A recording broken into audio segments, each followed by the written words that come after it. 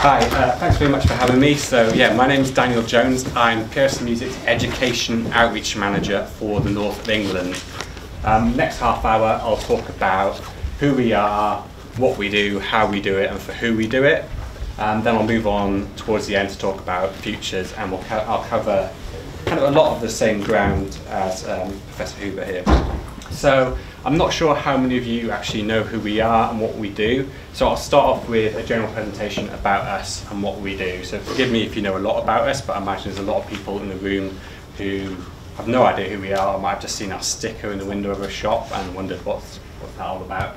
So this first slide sums us up in a nutshell. So we're a royalty and collection distribution society.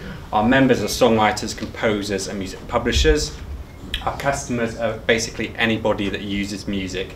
So we had a lot of questions about royalties earlier on and how streaming affects um, artists and hopefully I'll be able to answer your questions. Um, we issue licenses to all music users which allows them to use our members' music and the money raised through issuing the licenses are paid as royalties to our members whose music has been used. So as I said, that's it in a nutshell and in the next 20 minutes or so I'll go through each one of these points in a lot more detail first place to start doesn't sound the most interesting place to start, but it's essential you kind of get a background in this before you understand what we do. So it's about copyright. So every time you write a song, you create a song and put it down in some tangible forms. You record it onto your iPhone, you record it onto a 4-track, you record it into GarageBand or Logic. Copyright is created and by default you are the owner. Copyright in the UK is protected by law by the Copyright Designs and Patents Act of 1988. It gives protection to the copyright owner, allows their songs to be considered their property and allows them to be recognised as the copyright owner. This isn't just music, it's anything. Inventors, you invent a new kind of Hoover, again, the same copyright law protects you. So in terms of musical works, as I said, it's automatic as soon as you put it down in some form. It lasts your lifetime, so you write a song today and you can reap the benefits of that copyright for the rest of your life, plus 70 years beyond your death. And you also have full authority to say how your works are used. If you don't want people using your music, you get the right to say yes or no. So what's the actual benefits of being a copyright owner? Essentially this, anytime a third party wants to use your copyright, they need to get your permission and they need to pay you royalties. Um, when you join PRS for Music as a writer member or publisher member, you legally assign certain rights to us and we administer them on your behalf. We give licensees access to all our works we have. We've got about 15 million works. Sorry, I say works, it's songs. And essentially we grant people permission to use people's songs and we collect money and pay it on to the songwriters. Just to confuse matters a little bit more, Every recording of a song has two distinct separate musical copyrights. PRS for Music deals with the copyright in the underlying composition, so the music and the lyrics. There's a separate copyright in the sound recording, you might hear that called neighbouring rights. Normally whoever pays or provides the facilities for the sound recording owns that copyright. So if you're a songwriter, you'll own the copyright to the composition, the actual song, and if you're signed to a record label, part of their deal they'll sign with you is that they'll own the recording rights. Um, if you're just self-releasing, then you'll own that second copyright as well. And the reason it's important to know the difference between these two copyrights is because there's two companies in the UK who do a very similar job but basically own the two different copyrights and people always get confused. So I work for a company called PRS for Music who deals with the composition. So we pay songwriters, composers, and their publishers. Another company called PPL deals with the performers on the record. So say someone just writes all the songs, but someone sings the songs, we'll just pay the person who writes the songs. PPL, on the other hand, pay the people who perform on the songs. They'll also pay the sound recording owner and the master rights owner or the neighbouring rights owner. So this next slide hopefully sums up um, it a lot better. So I'm sure you all know the song Kylie Minogue Can't Get You Out of My Head. So that song was completely written by PRS members Cathy Dennis, who I'm sure you've heard of, and Rob Davis. So every time Kylie Minogue's song gets played on the radio or on TV, we pay Cathy Dennis and Rob Davis because they're the songwriters. They wrote that song. We don't pay Kylie Minogue because she didn't write it. We also pay Cathy's and Rob's publishing companies, who are EMI and Universal. PPL, on the other hand, pay the sound recording owners. So they'll pay uh, Kylie's record label, who are Parlophone, and also pay Kylie because she sang on the track, so she's the featured artist. Um, depending on the contracts they signed as well when they were recording the track, they'll also pay any musicians who played on the track and also in certain cir circumstances the producer as well. So you have these two bodies in the UK who people always get us confused by because our names sound very similar and we do uh, very similar things but we pay completely different people. So we pay the songwriters and their publishers, PPL pay the actual people who perform on the track and the record label if you get into the world of people self-releasing, self-recording and stuff, we can pay completely the same people. But frequently in the world of pop music, you might think a lot of people write their own songs, but you look kind of behind the scenes and a lot of people have co-writers or a lot of people's songs aren't written by themselves. You look at like Kanye West's new album and you look at who actually wrote the track and there's about 15 different people credited for writing every track. So it gets really complicated. And we basically make sure the people who kind of write the music behind the scenes get rewarded for their songs being popular. So I'll now talk about PRS for Music in a bit more detail. So PRS for Music is actually the brand name of two separate collection societies. There's the Performing Rights Society, who are known as PRS, and the Mechanical Copyright Protection Society, that are known as MCPS. So it's quite a mouthful to say all those words. That's why we've got a brand name, PRS for Music. Um, they are two distinctly separate societies, so if people want to join, they need to join both societies separately. They have different rules, different regulations, different memberships. So PRS deals with what's called performing rights. So whenever a song is publicly performed, so it's played at a gig, played in a radio, it's played in a shop, it's streamed online, that generates performing royalties. MCPS deals what's called mechanical rights, which is quite an old term. It basically means when music's copied. So when it's copied onto a CD, a download, or just a birthday card that plays music when you open it, that generates mechanical royalties. Um, this slide kind of sums up the two different companies. PRS is actually 101 years old. MCPS was formed in 1924. Um, they were completely separate companies until 1998 when they formed the MCPS PRS Alliance, took a decade to realise that that wasn't the catchiest name in the world, so it came PRS in Music in 2008. So PRS is basically run by the PRS board, it's owned by its members, and they provide facilities to MCPS. So our members basically own the company, they say how we're run, they dictate our rules, how we distribute money. MCPS, on the other hand, is run by the MCPS board, it's owned by a company called the Music Publishers Association, so they're actually owned by different people. So who are we? We're a brand name for MCPS and PRS. PRS collects performing royalties, MCPS mechanical royalties. We're a member-run organisation, so members sit on our board, say how we run. So every year we hold AGMs and basically different songwriter and publisher members are elected to our board and dictate our rules.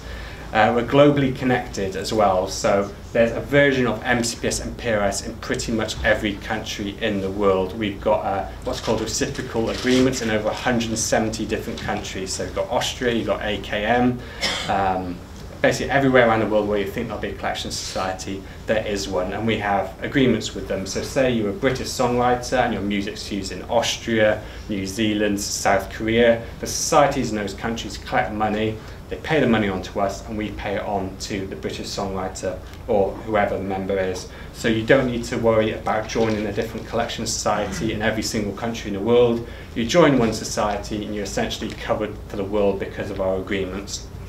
And PRS is actually a not-for-profit. So the PRS side of the business is a not-for-profit. So all the money we bring in, which is quite substantial, and I'll get to that later, all the money basically goes out to our members. We don't run a profit at the end of the year we basically hold the money and give it out to all our membership. Talk about music using customers now. So if you think about it, most businesses are music users. Um, the BBC is actually our biggest customer, and you've got other broadcasters like ITV, Channel 4 and Sky who use hundreds of hours of music every day. If people like PRS and PPL didn't exist, every time the BBC wanted to use, say, a bit of background music on EastEnders, they'd need to uh, find out who wrote the song, contact every single songwriter, all their publishers, agree a royalty rate, pay the money onto them, and do the same thing on the recording side of things. So find out every single person who played on the track or sang on the track, contact the record label, agree a royalty rate, and pay it out to them. So it'd be a logistical nightmare. So we give people like the BBC what's called a blanket license, where we say, we basically control all the music in the world with all the um, reciprocal agreements we've got with all the different societies. You can use any of the music you can, you want. All you need to do is pay us X amount and tell us what you use and we'll pay the money on to the songwriters and publishers. Um, you've probably seen our sticker and like hairdressers and bars, they all use music. So, and there's been lots of independent studies that have done that show that customers are happier when there's music playing, uh, they'll spend longer, they'll spend more money. So it's only fair that the people that create that content get rewarded. Um, music festivals, venues, of course they use music, so they're licensed by us. And on the MCPS side of things, record labels are our customers. So every time a record label presses a CD that's got the music of an MCPS member on, we collect a percentage of the pressing and pay it on to the songwriter or publisher. And in the digital age, all the major DSPs, digital service providers that you can think of, like Apple, Spotify, they're all licensed by us, so we collect royalties and pay a percentage on to the songwriters. We license over 350,000 visitors in the UK each year. So who are our members? Basically, songwriters, composers, dance music producers. It doesn't matter what you call yourself. Um, I'm from kind of a rock punky background, so I offend lots of people by calling everyone songwriters, and I speak to the classical community, and I'll say, we're not songwriters, we're composers. And then I'll call someone a composer, and they'll say, I'm a producer. And I'm like, do you write songs? They're like, yeah. And I was like, that's a songwriter. But no, I'm a producer. Essentially, no matter what you call yourself, if you write songs, you can be a member of PRS Music. We also have just under 10,000 music publisher members, and we also have what's called successor members as well. So in one of the earlier slides, I talked about copyright lasting a lifetime plus 70 years beyond your death. So when a member of ours passes away, so sadly someone like David Bowie earlier this year, his works are still going to be copyright for at least the next 70 years. So a successor member will be elected to become a member on his behalf and continue to receive his royalties every time his works are used. So cost in MCPS or PRS is a one-off £50 fee per society. It's a one-off fee and that's it for the rest of your life. There's no annual fees or anything like that. Joining as a publisher member is £400 per society. Pretty much every British songwriter you can think of is a member of PRS. Doesn't matter what genre of music you are. You can write dance music, folk, grime, pretty much, as I said, any British songwriter you can name will be a member of PRS. It's not just British songwriters as well, some of the biggest European, um, North American, Australasian songwriters are members of PRS because we're one of the most efficient and transparent societies in the world. They join us because they'll know they'll get their money quicker and a lot more efficiently. On the publisher side of things, you've got all the majors like Warner's, Sony, Universal that are all affiliated with uh, the major labels. You've got big independents like Kobalt and BMG um, right down to sole traders publishing a few of their mates' bands from their bedroom. As long as you meet our criteria to join as a publisher, you can join.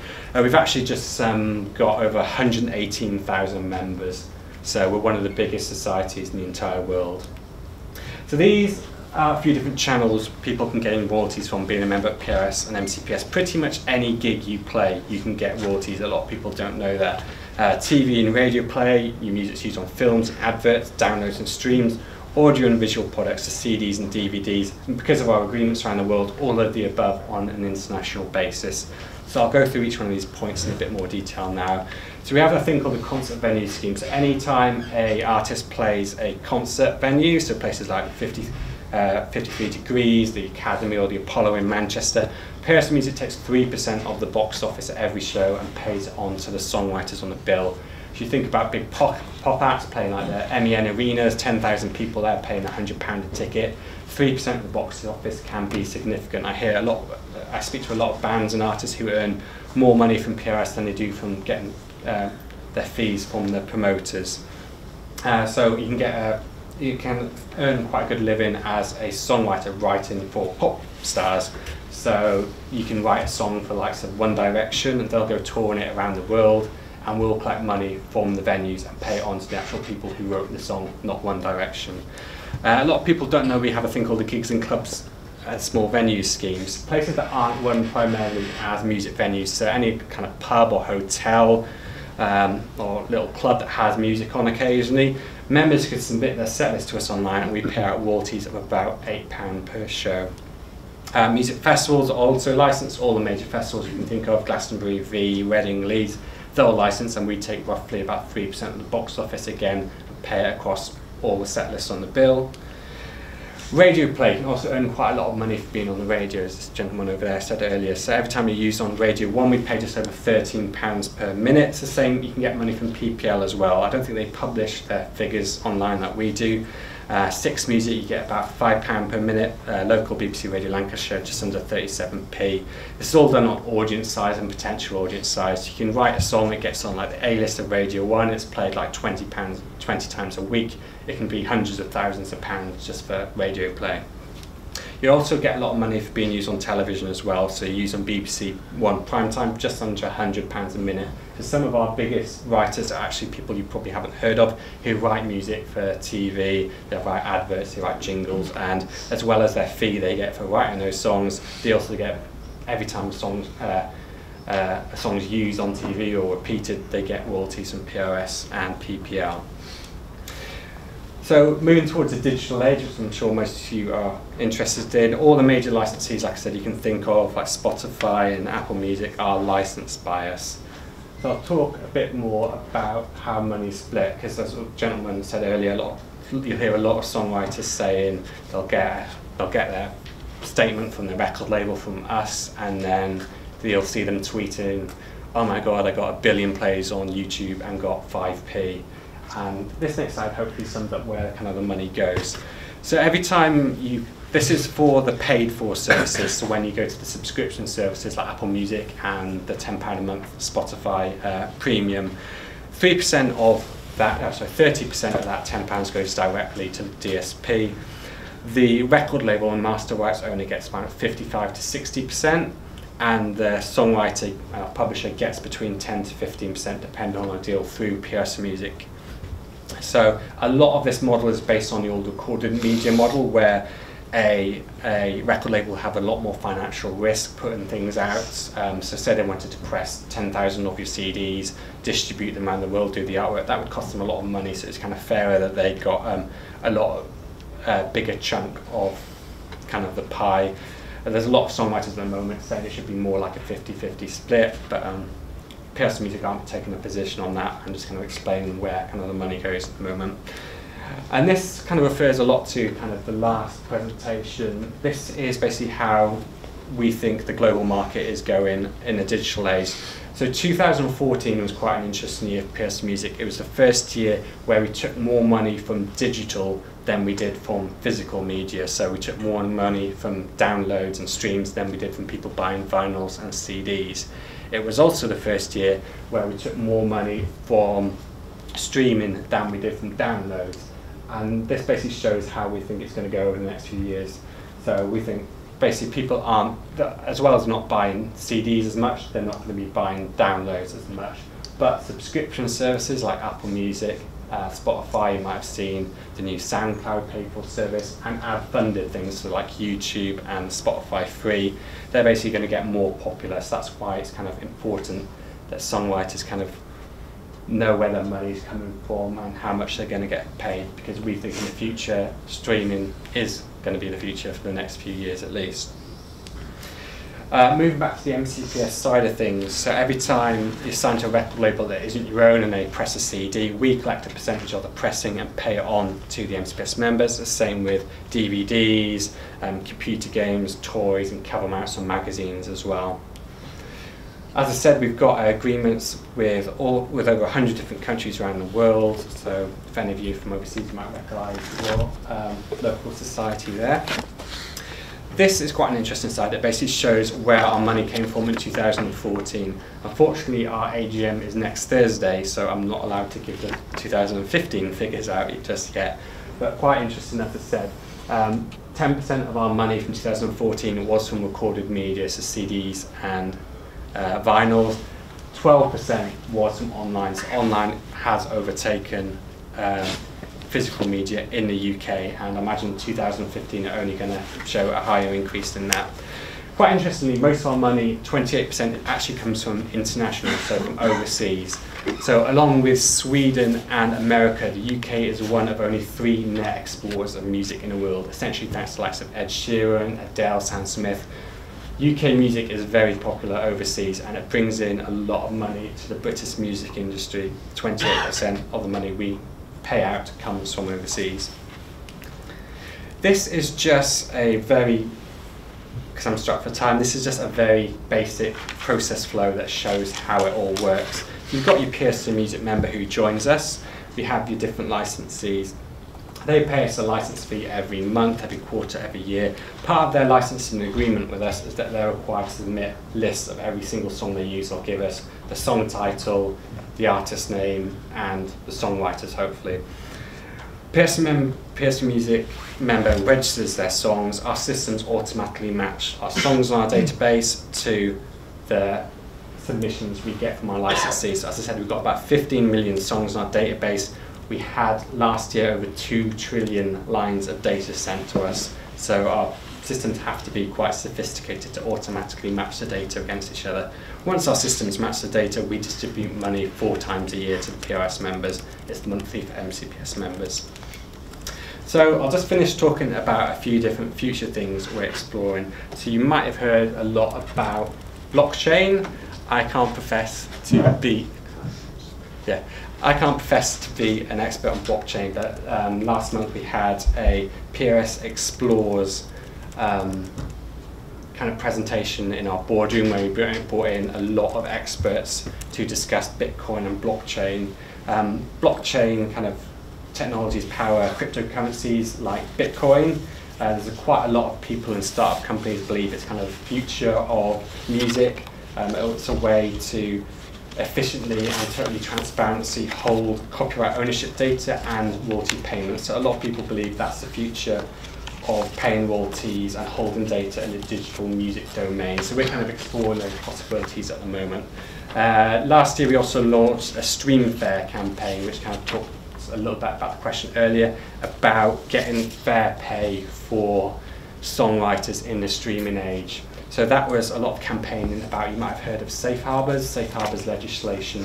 Um, I can talk for hours about this. Um, essentially boils down to there's certain companies who, because this is videoed, I'm not going to go into details, there's certain companies who kind of hide behind kind of safe harbor legislation where there's a bit of copyright in the European law and in America that says um, if you're a web kind of provider and users upload music or anything to their website, then essentially they're not responsible for the content, so they don't need to pay royalties on. So a lot of kind of big companies, probably you can probably guess who I'm saying, are basically saying that they don't they don't need to pay us royalties or much royalties because this, this bit, bit of safe harbour law says that they don't need to. And then you get people complaining about the likes of Spotify and Apple Music not paying high enough royalties. But I kind of feel it's a little bit unfair on of Spotify and Apple Music because they're competing against rival services that don't have to pay us royalties or pay us a fraction of what they pay us. So the whole Stream Fair campaign is kind of bringing attention to the legislation and kind of trying to get that changed so everybody's on a legal, uh, on a level playing field. So as soon as uh, certain, ser certain services start paying royalties, then we can expect to get higher royalties from the likes of Spotify. We're also looking at digital fingerprinting technology. So since about 2011, we've been working with a company called Soundmouse on radio fingerprinting. So every time a song is used on the radio, there's a little digital fingerprinting on it. That uh, means it's reported to us automatically, so there's no need for people to send us millions of pages of Excel spreadsheets. It's all done digitally. We're exploring that in, a, in doing it on digital services and also in clubs and things like that. So we're no longer reliant on kind of DJs reporting every single user, every single track they use in the club. We'll have boxes in say clubs that report every single track that's used so we know what music's used and we can pay the songwriters fairly. And we also last month launched uh, what's called the MAPS Member Anti-Piracy System. Uh, piracy's kind of gone out of public consciousness a lot over the last couple of years, but still is very much there. So we launched this at at start of March, and we've got about 50 of our. We're kind of did a soft launch. We only invited a few of our members to um, trial it to start off with. I think there's about 49 members who've started it, and in the in the two months it's been live.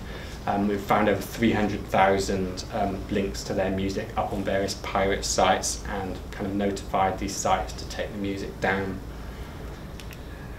And I'll just finish on a few big numbers. So I said, processed over 2 trillion lines of data. Uh, in 2015, where we collected over 500 million pounds of royalties. So there is a lot of money in the music publishing sector. And that pretty much concludes. Does anybody have any questions? Quickly. I was just going to say, Daniel, because you're on the next panel. And yes, Yes. maybe we'll leave. Could we save the question? Because I'm sure people have loads of questions. Is that okay? Yeah.